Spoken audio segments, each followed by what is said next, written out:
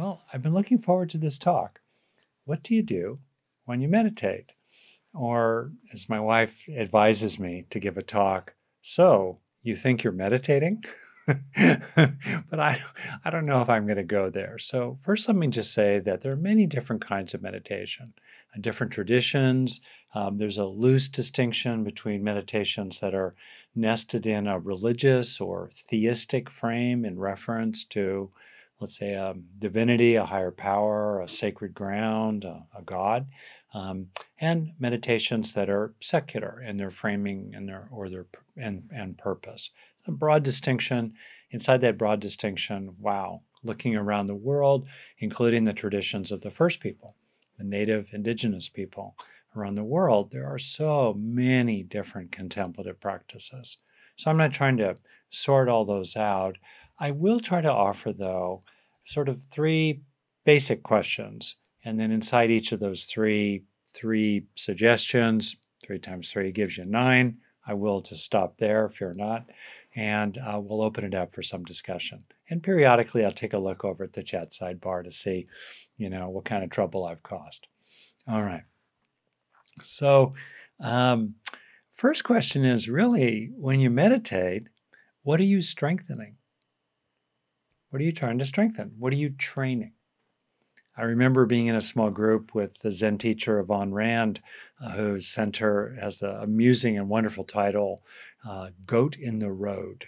Anyway, so um, Yvonne Rand just asked us suddenly, or made a comment at some point, that we're training. We're training. We're training our heart, we're training our minds. Um, part of the training is a releasing, but we're training. Okay, what are you training? What are you developing? And so I'll offer three things here for you to think about that you could be strengthening already when you're meditating or maybe with a little more deliberate attention you could be you know deliberately focusing on. The first is obviously regulating attention. Again and again we bring a wandering mind back over a century ago william james the godfather of american psychology wrote to summarize and paraphrase that the capacity to bring a wandering attention back is really the foundation of having a sense of autonomy and agency as a human being in this world. So we train attention. Sometimes we begin with really focusing on staying with some object of attention four times in a row, 10 times in a row. A simple way to do that, if you're using breathing, is to count each breath uh, kind of softly in the back of your mind, not obsessively, just oh. And if you like, you can go up to four. Right around four to six is roughly when people tend to lose focus. So if you go to four, you could just go to four and start over again. Kind of a simple way to do it. Or go up to 10 or count down from 10. You can do that. Another way to help yourself stay present uh, with your breath or any other object is to note it to simply softly say in the back of your mind, for example, with the breath, in, out, or rising, falling. Right? I think Thich Nhat Hanh had a meditation in which, as he, as you inhale, you kind of think softly to yourself, arriving, or I am arriving, and then on the exhalation, I am home or simply home. However, you like. Uh, over time, attention tends to become more trained. Interestingly and neurologically, and, you know, meditators who are very experienced tend to have less activation in the parts of the brain, notably the anterior cingulate cortex, among others, that exercise strong top down control over our attention because over time they've gotten more efficient at staying in the present. They're just kind of plop, kind of dropped right in, plop, like a proverbial frog in the pond, plop. And as they plop, here they are, being here now. Okay, that's one of the first things that's really useful to focus on training or strengthening as we meditate. And a second is motivation, motivation to practice. the Buddha uh, really emphasized motivation, both the more cognitive aspects of it, like understanding the reasons why, and frankly, a more visceral dimension of just bringing our muscles into it, just kind of leaning in, doing what's good, you know, to do, even if we don't really want to do it in the moment, leaning in. And the Buddha talked as well, and it's an important point when we're strengthening motivation to feel drawn toward drawn toward calming and peacefulness and settling and easing. Such a beautiful thing. So you can think already right there, these sort of three aspects of motivation that we can train in. And we can, of course, broaden this motivation to practice in general, not just what we do formally on the cushion, as it were. So the reasons why, knowing what your reasons are, what's your why? That's useful. Second, there's a certain place for the will, or leaning in, for being strong, for doing it even if it's uncomfortable or you're kind of reluctant. And third kind of motivation or aspect of motivation is to feel attracted, to feel drawn to that which is beautiful, wholesome, sacred, awake, because it's it, it pulls you. It, it's alluring in, in the best sense of that word. Okay, second aspect uh, of something we can train in or strengthen. And third, certainly, warmth and compassion for yourself. That kind of warm hearted sense of being for yourself, being on your own side, and an ally, uh, a, a supporter of yourself rather than an attacker and critic and naysayer for yourself, and compassion, a sense of awareness of your own suffering, things that are difficult for you, combined with kind of tender hearted concern, a supportiveness, a wishing that you didn't suffer, much as you might feel uh, for someone else who was like you. All right? And the training in meditation of uh, that sense of compassion for yourself and warm heartedness can help us to bear and uh, what we become aware of through steadying our mind and becoming more, more present in the present with all that is going on with us, some of which might be kind of spooky or seem um, painful to be aware of, uh, or including you know the longings of the heart that have not been fulfilled. So it's important to be able to have compassion for yourself, so that you know that you're willing to and you're able to open up to that material. So it can flow while you remain steadily present. Okay. So Okay so far? All right. Second question for you while you meditate what are you letting go of? What are you releasing? What are you encouraging out the door? Classic first is tension in the body. We can scan the body, maybe from the top to the bottom. You might imagine an old technique that there are valves in the tips of your fingers and the tips of your toes through which, maybe like a orange colored liquid, tension, strain, stress is leaving your body, and you can let yourself become more tranquil. Tranquility in Buddhism is one of the seven factors of enlightenment, awakening.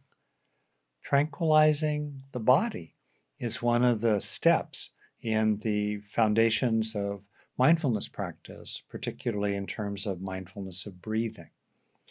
Tranquilizing the body. So you relax and you find a posture that supports you in being relaxed. You let go of tensions in the body. Ha. Exhaling. Simple. As we exhale, we engage the parasympathetic branch of the nervous system, which is inherently calming and soothing. And as we exhale, the heart rate tends to slow naturally. All right, letting go, letting go. Next one, we tend to let go of as we meditate. I'll call it mental emotional clutter. And how I kind of imagine it, sort of experience it, is that the mind is like a pond. water's the awareness. And uh, in ordinary life, the pond is full of sediment. It's like algae. Uh, we have actually a pond in our backyard with some goldfish in it. And so, you know, I'm familiar with ponds. I, I spend a fair amount of time trying to help them stay fairly clear. But anyway, like my own mind. So there you are, you're in your mind, you're thinking about all sorts of things. There's a lot of emotional clutter in there as well desires, plans, little mini movies, resentments, fantasies. That's the sediment in the pond of awareness. And we gradually kind of help it settle down. We let go of it. We sometimes uh, recognize that there's no cheese down that tunnel. There's, it's not that great to think about that same thing for the 10th time. We can let it go. We become disenchanted is a traditional instruction to become disenchanted with the mental formations. They're just, they are what they are. They're not bad, but eh, are they really that great? Is it really that great to be to hop on board the Rumination Express? Yeehaw, first class ticket on the Rumination Express. What's that trip like? Yeah. So there's a kind of letting go, a kind of letting go of mental clutter, and you can see and feel that your mind, not just your body, is becoming more tranquil as a result. And after a while, as the sediment settles down, you gradually release the clutter a lot because you just don't reinforce it. Not reinforcing it, not following after it, not resisting it, really helps it increasingly just kind of settle out on its own with a gentle intention in the background of releasing, letting go, letting go. When that happens, eventually the clear water of awareness that was always the case, always pure, never itself tainted by what it holds. As the sediments settle, the clear water of awareness is all that's there. And in the Tibetan metaphor, then you can see the jewels. Ah, lying on the bottom that were always already there. So, second aspect, it's not the only one, but it's one I'm, I want to name here of letting go is letting go of mental, mental clutter. Okay, so far? Okay. So, then, a third uh, kind of thing we can let go of, and typically do let go of as we meditate, is the self contraction. The inner preoccupations with me, me, me, my precious, my positions, my drama with other people, my resentments that they have not treated me better, my uh, you know self-referential remorse about what I should have done, my guilt about what I should have done. Increasingly, all of that we let it go. We become increasingly aware of it as it arises, which helps us let it go. And one of the things also uh, in all this is we sort of start to disidentify with various reactions. Um, it we start to make the shift from uh, I really want this to there is desire, or we make the shift from you treated me really badly to there is resentment, there is anger, there are fantasies of vengeance.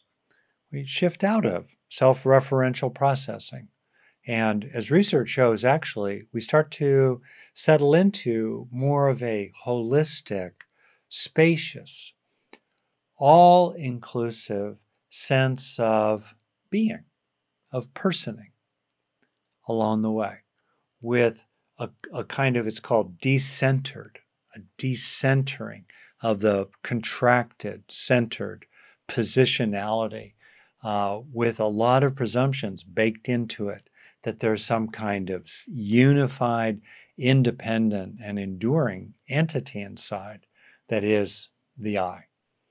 Instead, we start to recognize that self is a process.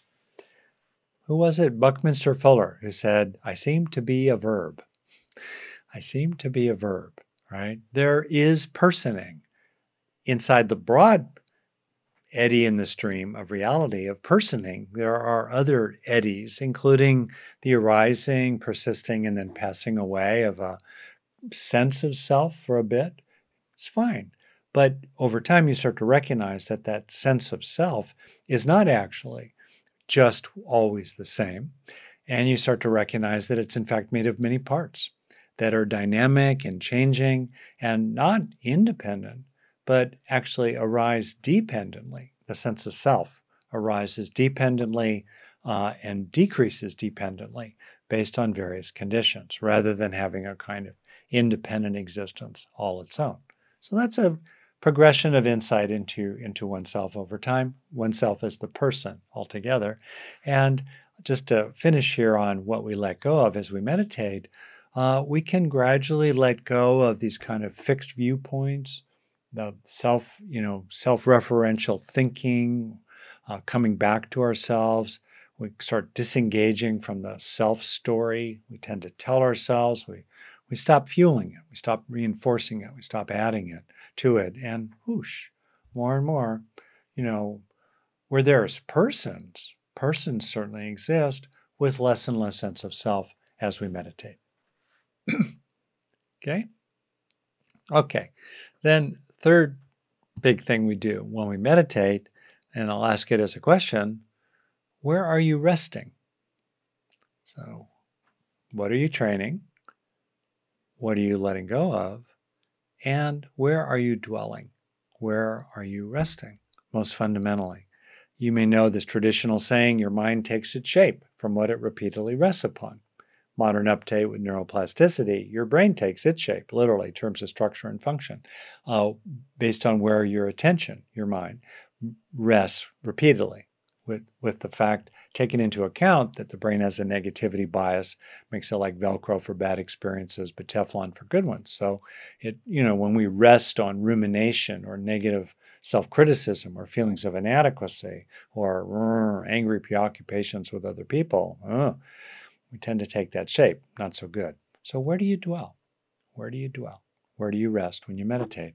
For me, my simplest description of what I'm trying to do when I meditate is I'm resting my mind upon what draws my heart. And so gradually take the shape of and establish within myself that which I long for, that which feels like the next step to stabilize in my own awakening process. So, several things to come to mind uh, when people uh, talk about where they're resting or helping themselves to rest during meditation. First, awareness. Resting in awareness, uh, distinct from the objects of awareness, the various flotsam and jetsam passing along in the streaming of consciousness. And as the stream of consciousness gets quieter and quieter, and there's less and less sediment or flotsam and jetsam, what becomes more and more just the case is arresting as awareness. There is awareness. There is awareing as a process that's ongoing. Aware, wakeful, present, aware. Not much content. There might be in that a sense of spaciousness, the sky of mind, sometimes described. Um, Pema Chodron and others have used the metaphor of we are the sky. Everything else is simply weather, clouds coming and going. Abiding as awareness. As soon as you start thinking about the fact that you are abiding as awareness, that thought is now an object in awareness. It's some piece of content represented within awareness. No worries. Let it relax, let it subside, and back into awareness. Uh, a metaphor for me about this, and um, back to the pond, but slightly different metaphor, is to imagine that awareness is like the surface of a pond. And typical stressed out, frazzled, running a million miles an hour with your hair on fire, speaking personally, kind of mind, you know, the surface of that pond is fairly agitated, as if a, a pretty stiff breeze was blowing over the surface, ruffling it and creating all these little little waves and peaks and troughs in the surface, even some big ones, let's say, the surface of the pond. As our minds get quieter, and our bodies get calmer and we, we engage what I've said so far. You know, we train in steadiness of mind and warm heartedness for ourselves. We let go of tension in the body, flotsam and jetsam. We, you know, let go more and more of the sense of self. Ooh. The surface of the pond of awareness becomes increasingly still so that there is only awareness. And then there might be occasionally a little ruffles, like maybe a background, ongoing sense of the sensations of breathing, but really not much more than that. More and more, you know, the signals are dropping out, and there's just this underlying representing capacity in the neural substrates of consciousness. Whoosh, presence, present moment awareness with little content. So we, we rest there. And that's a real um, that's a real practice to develop over time, to be able to simply rest, rest in awareness itself. Diana Winston, by the way, has a lovely book about this, The Little Book of Being. And she talks about the movement that I've also explored in previous talks a couple months ago uh, the movement from focused attention, as we began with in the meditation, to open awareness, where we're still stably present, aware maybe of breathing, but mainly we're we're just open to whatever's passing through, to increasingly abiding simply as awareness itself. Typically, when or as what's passing through tends to get quieter and quieter.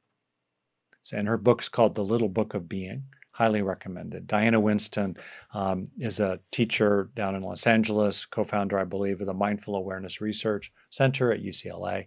Diana Winston. Okay. So, finishing here, two more things that we can dwell in in our meditation that I think are really useful. Uh, I call it the green zone. It's basically a mind of little craving, very little craving, very little uh, drivenness, or grasping or resisting or clinging. And what supports that for us biologically is to have an, a, a, sense of fullness and enoughness in the present. So we don't need to crave for anything more. And kind of there are three major aspects of that based on our three major needs. Uh, one, as I mentioned during the meditation, to have a sense of, of warmth. This goes back to that thing we train in, where you feel that there's enough healthy connection in the present. There's enough love in the present. It'd be nice to have more, but in the present, you're you're rested in an enoughness of lovingness, an enoughness of caring and feeling cared about. You can also help yourself rest in a growing sense of peacefulness, which is supported by the sense of tranquility that in the present, you're basically all right right now. And you can you don't have to struggle with feeling threatened in the present. Right? Peacefulness, an enoughness of safety, in other words. And last, contentment, and enoughness of satisfaction. That, ah, it's nice to have more. It's definitely okay to keep pursuing, you know, healthy goals. And there can be a sense of feeling content already. That's a very helpful to dwell in and to let yourself have these experiences. I, I think from my experience in the kind of Western world of mindfulness, Buddhism, and meditation, there just has been not enough attention to what's available now for us to understand that biologically we're driven toward craving based on the sense of something missing, something wrong. So, a natural corrective is to help ourselves have authentic experiences when they are available, which is a lot of the time for most people. Authentic experiences in the present of fullness rather than deficit, of balance rather than disturbance. And as we dwell increasingly in that, the biological basis for craving is absent. It's not there. We might be left with habits of craving and subtle cognitive processes that tend to continually grasp after forms. Um, but the major biological engine of craving is absent. when you feel already peaceful, contented, and rested in love. Very useful place to, to dwell. Okay? And then last, this is a little fuzzier, but it certainly is something that people talk about, and it's certainly available to us in our practice, and I speak to it uh, sometimes in my suggestions in meditation. It's to rest in the ground of being, rest in what it's like to be you in the broadest sense, the you process, the person process. What's it like to be you when you're not adding anything? to the moment? What's it like to be you when you're not trying to do anything? Really interesting. What's there when doing falls away, when selfing falls away? It's not a big blank. We don't go unconscious, we don't become catatonic. It gets very interesting when what what's present when active processes of separating and dividing internally and externally um, fall away. And you feel increasingly undivided internally and increasingly soft in the boundaries between you and reality, you and everything else. So you increasingly kind of drop down into um, being rather than becoming. Also, aided by resting in the green zone, you're not trying to become anything or anywhere or anyone. You're, you're just being.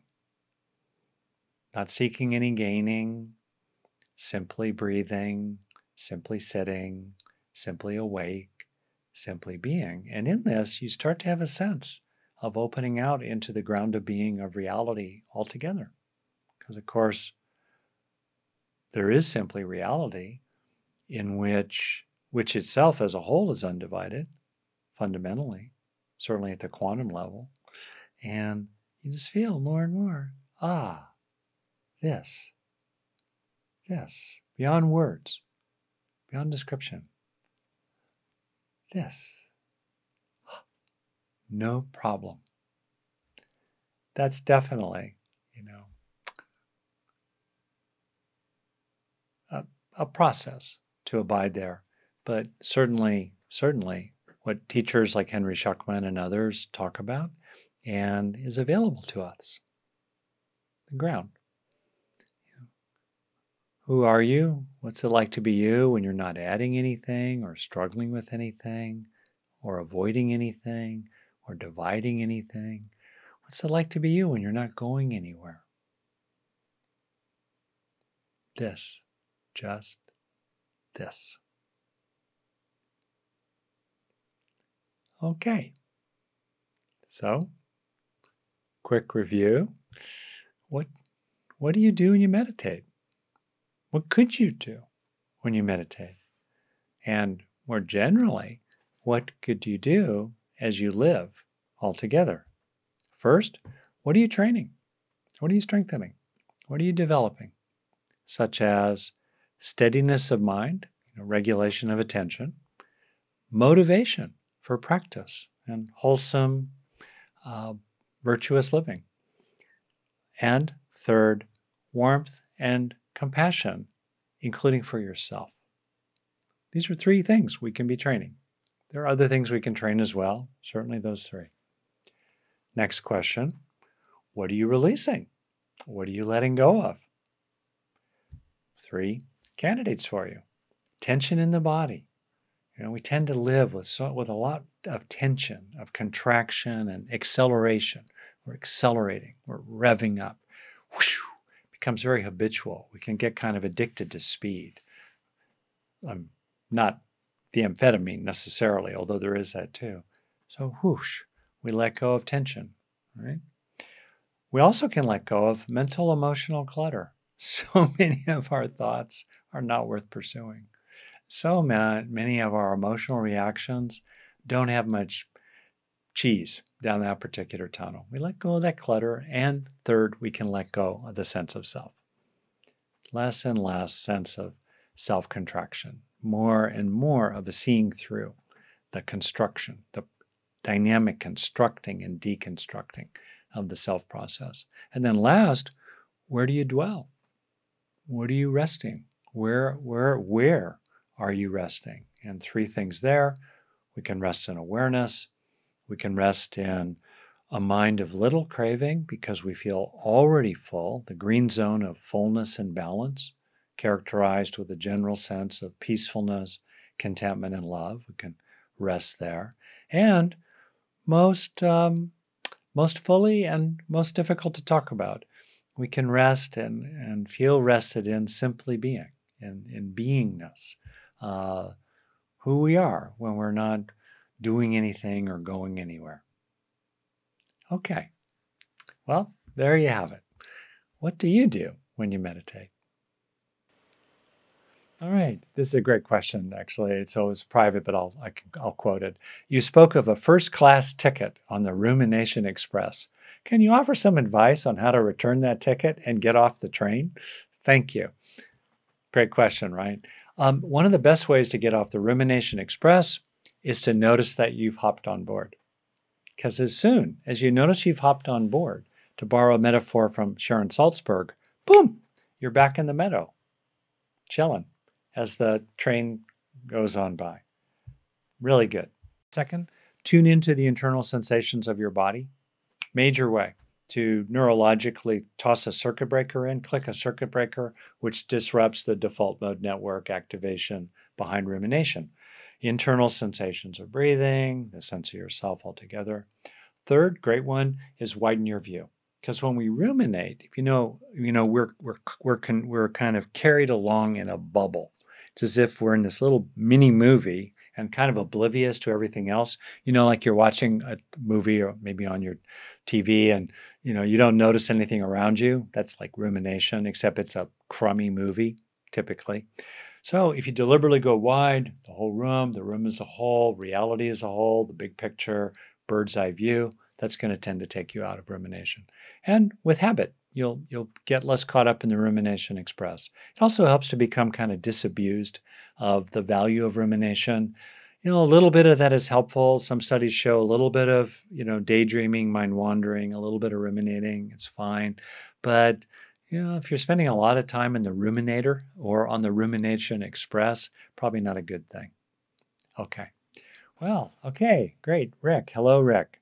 Um, I'm going to ask you to unmute. I like your backdrop there. Howdy. And Dr. Hanson, thank you very much again uh, for uh, a great talk and, and a wonderful meditation. I mean, for me, it was just a very deep experience, as it has been, I think, for the last uh, few months, uh, spending time with. Good. Um, yeah. I guess what I'd like to ask is um, because all of this makes just an enormous amount of sense to me in terms of um, baby steps toward greater happiness and more contentment. And I think if I did this on a regular, more systematic basis, I, I would achieve a much greater degree of happiness um, between with myself as well as with other people. Yeah. But I guess what what I'm curious about is is how do you square this with the other kind of major goals that folks have for for for your life. Um, the, yeah. the skills that you try to develop the um, the things that you try to achieve yeah because you know I, under, I understand that satisfaction contentment are very you know those are primary uh, at least two of the goals yeah. of of practicing in this way. But if i think about folks like well rick hanson I mean, you've achieved a lot. Independent of your practice, yeah, a great deal. And and you have to tell me if I'm wrong, but I think there's a sense of contentment and a great deal of satisfaction from what you have achieved. And then you can think about people like Barack Obama, and I don't know FDR, Steph Curry, uh, great musicians, um, Miles Davis. So I got it. Yeah. So So I guess I can I respond? Yeah. Okay. So that's good. And I, I want to also make time for other people too. And so I've known you, Rick, for quite a while, right? So we know each other and and honestly, I've watched you change over the years. I've you know watched you from the very beginning um, in the sitting group we did at Dominican University, and I've just observed you. Quieter mind, more more kind of self ease, some of that I'm sure is situation specific as we get to know each other better, but there is progress. And I think we could take uh, support from who else? The Dalai Lama, who talks about his own process of becoming less angry, let's say, over time, gradually over time. So, a couple things here. One is to really ask yourself, and it's a question that Gil Fronsdal asked me a long time ago how important is awakening to you? And if it's not that important, it's not that important. But if it is that important, uh, he said it's a little bit like wanting to become a really strong triathlete. You just make choices and you create room for it. You start allocating more time, for example, to meditating every day for a minute or more. Or you start allocating more time. Your, your sits become longer. Maybe you start it, you sit in the morning, and then you add a little sit before you go to bed. You also start bringing in, uh, con, you know, wholesome, beneficial influences over your day. Uh, the music you listen to. Maybe there's a little background talk going. Uh, maybe you have people in your life you you can share some aspects of practice with. It starts to become more and more an aspect of your life, and there is a dosing effect. I mean, some people um, are just unusual naturals. They step off a bus and it's white light and, you know, forever after. But most of us, me included, there's a dosing effect. There's a loose but real relationship between effort in and results back. So that's a specific thing. And then the other thing you said um, is very interesting. It's a classic apparent conundrum. And for some people, it's very real. Do they go into a monastery and take vows? Or do they stay engaged in the world with social justice action? Or how do they square their their needs to be a breadwinner to support their family, to have a, an, an income, with the wish that they spend two one to three months a year on retreat? And you can't do both often. So how do you balance those things? What I would say is that, as many people have found, a contemplative practice helps us be more functional in our relationships and in our work. It supports us in that area. And as we do accomplish things and as we do experience, last time you talked about, you know, interactions with your partner, uh, as we do experience positive interactions with other people and we do experience accomplishments of various kinds, including, you know, sailing the boats maybe, or one of them that I see behind you, we take that in and we can internalize that as um, a beneficial emotional memory that gradually fills us up from the inside out and supports that green zone resting. So there's less and less basis for a sense of something missing, something wrong, and therefore less fuel for grasping and craving.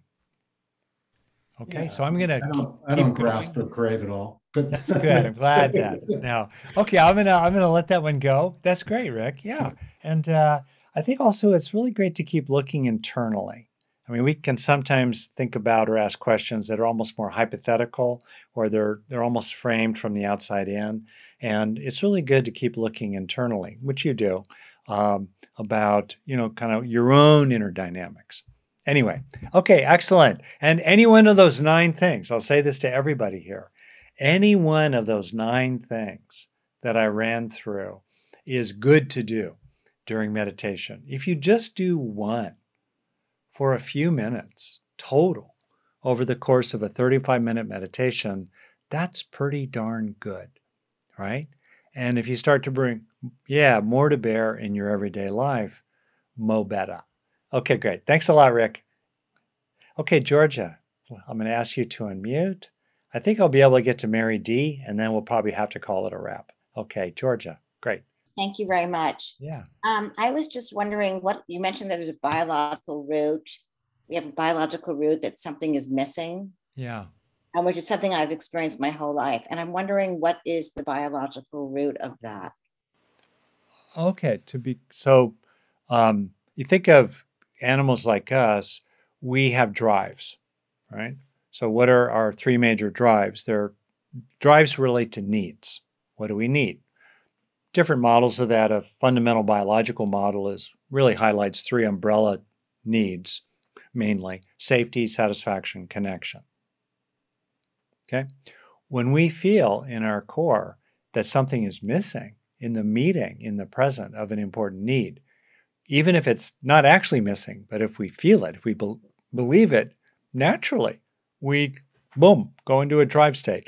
Fight, fight, flight, freeze, pursue, possess, envy, reject, cling, you know, naturally. So that that's kind of what I'm I'm saying. Now sometimes something is missing. I nearly drowned one time. I've been in situations where important relationship supplies were missing in some ways in my childhood other times i'm i'm being real about this this is not about a happy smiley face um, so what's the takeaway well for me when something's genuinely problematic it's to cope as best we can all right and second, turn to what is beneficial, supportive, wholesome, enjoyable, and so forth as soon as we can, and then internalize it. So we gradually build up psychological muscles for coping with our needs, you know, with challenges to our needs, so we don't feel so stressed by that. And also, extremely important, which is something I emphasize a lot, when you have the chance, take in the good. You know, let that sense of feeling safe enough in the present or satisfied enough in the present or contented enough in the present to really, really sink in. Okay, that's a general. Now, did I speak to I suspect I kind of No, my question was what if it's a, um what if there's actually no need? What if something is not missing, but there's a constant sense that something is missing? Yeah, that's great. So I framed it. That's great. So let's dive into that. So you you got the frame, right? Um, well, different things. One is um, to directly observe the truth, which is even though in the present I feel anxious, there's really no threat in the present, right? And there's no imminent danger either. To observe that again and again, or to observe even though I feel that I'm not cared about, I can observe the facts that in different ways people are friendly, they do appreciate me, they like me, they love me. You know, one. Two, it's to really, really help yourself to er, er, er, internalize those key experiences. All right. And to make yourself take them in. And sometimes we have to overcome fears of internalizing what we long for. I don't know if that speaks to you, but yeah. Um, and then I think there's a part of this too that sometimes gets to epigenetic processes and just biology, where the truth is, you know, we're, we're learning a lot about epigenetics, but trauma can be passed down or, or fear, trauma related fears can be passed down generationally. Or imagine people who belong to a ethnic group that has been horribly mistreated for centuries, if not millennia, right? And there's something that gets passed down, or maybe a person had traumatic experiences just individually or temperamentally. They're particularly anxious or particularly hungry for love. There, I think it's helpful to recognize that the alarm bell that's ringing in, in your awareness is like a car alarm that's gone off, which is annoying but meaningless. In other words, just because it feels like something missing is missing is noise, not signal. We don't have to interpret it as meaningful. It's there. So we have to kind of relabel it. You know, and, and like me, I I'll, one thing that's true for me is I was this shy, dorky kid, and I skipped a grade, and I, late birthday, etc. And so I was in a lot of situations where actually I was left out. I was invisible, and the you know it's no abuse, no horrible thing, but just normal fourth grade, normal junior high school, right? Normal dances. And so now even I notice it when I'm, you know, I, I like been around the block now. I'm in these situations where I'm definitely as accomplished, really, as anybody else in the room. And I keep feeling this, I keep having this paradigm of relationships from my childhood that gets transferred into the present, in which I feel yet again like a not as good as outsider. And so I've come to label that. I know it. I know the feeling in my body. I can feel it right now. I kind of curl over and disappear. And, you know, nobody wants me. So I might as well leave before they really reject me. And, you know, I can just feel it. So I, I know it though. I know it. And so I don't believe it anymore. Yeah. Thank you. Very helpful. Thank you. All right, great. Thank you for the great. We'll finish here with Mary D. I'm asking you to unmute, Mary D. Yeah, I was going to say that eh, I'm in a situation, and I'm sure you've had I'm sure a lot of people are, are like me in that when we go to work, um, and if we choose to go to work, we do meet people that are what we can only describe as extremely difficult. And um, and yeah. Um, yeah. And yeah, and it feels so good, you know. It feels so good when you, you know, like I've been doing the practices, and I, I'm, you know, I'm doing the pillars right now, and and and I feel great, and and then you know you then a situation comes up and i i and i just think i run out of i run out of whatever it is that i think will help me deal with the situation. And what it is in particular and why um i said i you know like experiencing that your you know your gentleness that comes across is that there's this violence in this workplace mm. coming from this particular individual and i experienced it this week and it's enough to make me just want to run away and say sure. i i don't want to be subjected to it ever again i experienced a lot of violence in my childhood and i and, and i and i want to mm. go in tomorrow and handle this skillfully i'm talking to the manager and i want to handle it skillfully and th- and and i'm and i'm trying to have a sense of you know the best mm-hmm. way Wow. So, so Mary, I'm so glad that we were able to hear you, and we're we're at the end here. So I'll be a little quick about something, of course, that's a pretty big deal, and it may be that there are other people who have some specific background in this kind of issue. You might want to in the chat or privately chat Mary if you have any resources like websites or allies, things like that. Or that said, I'll just offer some basics. Um, one, it might be helpful if you have an ally who can come with you, including someone who, if it's at all appropriate, be like a witness for what happens, because this is a big deal. You're going to your boss, your supervisor, human resources. It's a big deal.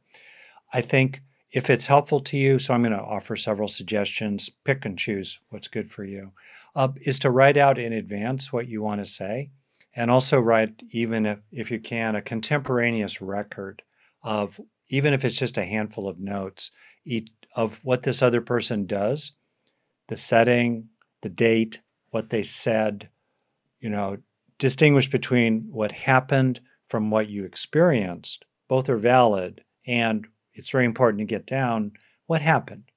Not what happened. Yeah, not dozens of pages. It usually takes half a page, ish or less to describe what actually happened. But keep a record because you're building a paper trail, frankly. If this goes to another level, if only for yourself, it's helpful to have that. It's also helpful to have those kind of notes to speak from. And it also can help when you're going into a situation with a boss or human resources or you're contacting a state agency. I contacted the California Labor Board about an issue I had 35, 40 years ago uh, with a particular boss. So, you know, it helps to know what you're going to say.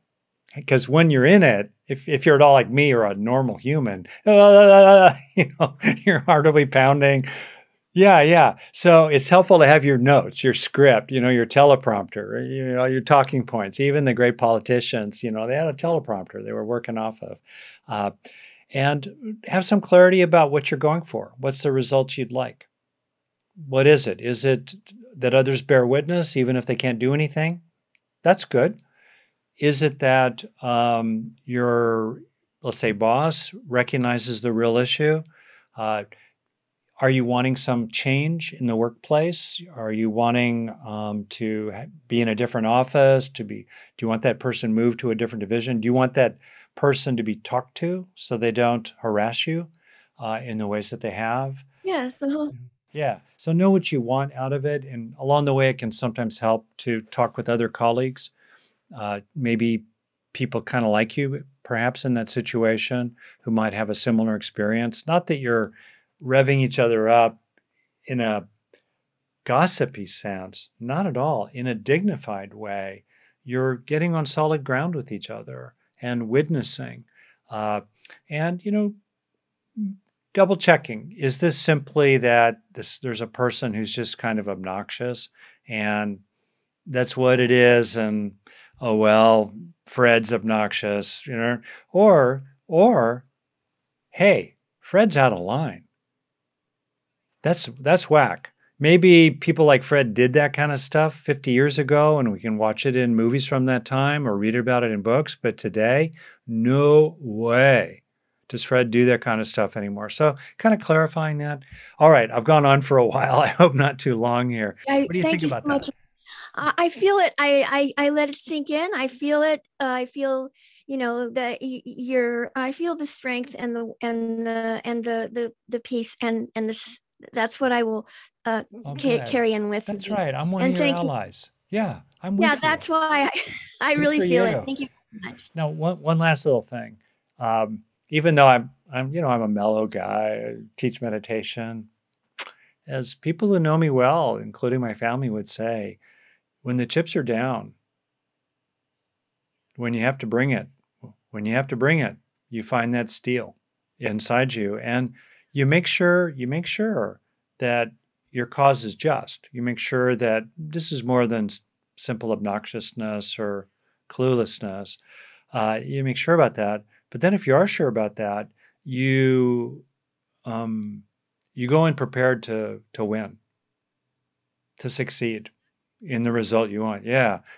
And so yeah, you're getting yourself prepared, you're building up you're building up resources, you're you're you're laying the groundwork. Maybe you're not going to be successful the first time around, but you keep a record. And the third time you talk about this, yeah. yeah. and what's really important, I know you're, I know, but it's really important, I think, for people like me to to to really say over and over again, you know, this is not about me, you know, and my. Oops. That's a good way to put it. Yeah, it's about. Principle. I'm sorry, I lost. But thank you very much. Yeah. Oh no, it's about principle. That's great. It is about you. You have needs. You have rights. You have standing, and. Well, but I mean the problem. Somebody that act. Go ahead. Yeah, what gives you authority is that you're standing in principle and and you're you're also you're being courageous for the greater good. Maybe you won't succeed in this particular company or situation but others will be watching. And in ways that are sometimes even mysterious as people stand up even if they don't succeed in their particular setting the gradual accumulation of all these people who stand up can make a big difference over time and we've certainly seen that morally. I believe that all right yeah, I believe that. Thank you. Well, thank you, everybody. Thank you, Mary, for bringing that up. And everybody, thank you, Rick. Thank you, everyone. I hope you enjoyed that talk. I offer these every week along with a guided meditation. Just click the uh, subscribe link below to be notified through YouTube when I post the latest recording. Or if you'd like to join us live, which would be great, uh, just go into the description section below and follow the link along to be able to sign up for free.